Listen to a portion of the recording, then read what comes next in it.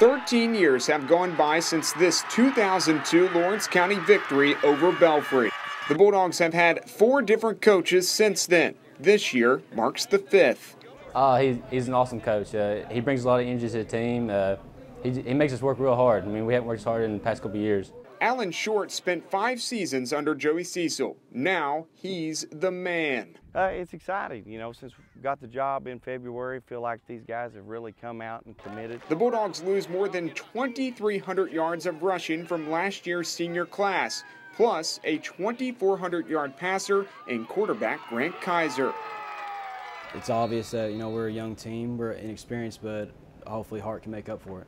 How they might camouflage their youth is by being nasty on defense. Kill everything we see. I mean, that's just the mentality we have. I mean, that's just the defense we are. We're a young team, and they're eager to, eager to get out there. Uh, this year, our motto is accountability and responsibility. We figure as a staff, if we can teach each young man to come out and be accountable and responsible uh, to their team, their families, their school and their community, we're going to be in pretty good shape and we'll have done our job as coaches. The three-time defending Class 3A state champ Belfry Pirates may stand in the way of the Dogs, but as always, they will be barking.